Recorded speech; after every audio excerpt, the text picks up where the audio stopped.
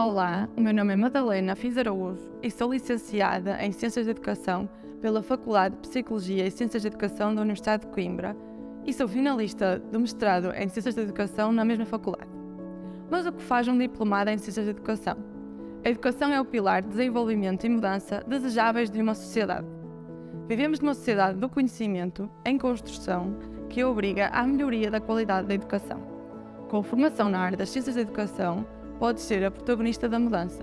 Com um mestrado em Ciências de Educação, podes aceder a uma atividade profissional orientada para o planeamento, desenvolvimento e avaliação de atividades educativas com públicos de diferentes idades em todos os espaços da vida. Escolhi o mestrado em Ciências de Educação por ser uma formação que nos prepara para as diversas áreas específicas das ciências de educação. Por isso mesmo, considero ser uma ótima escolha para estudantes que, tal como eu, se identificam com diversas áreas e não pretendem restringir-se apenas a uma. No decorrer do primeiro ano do mestrado, adquirimos e consolidamos vários conhecimentos através de metodologias ativas que serão fundamentais para um bom desempenho ao longo do segundo ano no estágio curricular.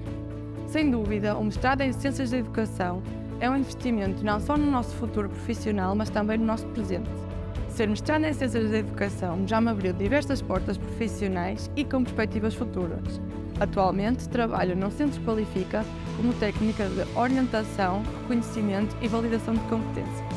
E tenciono ingressar num doutoramento em Ciências de Educação para assim continuar a investir em mim. E tu, queres fazer a diferença?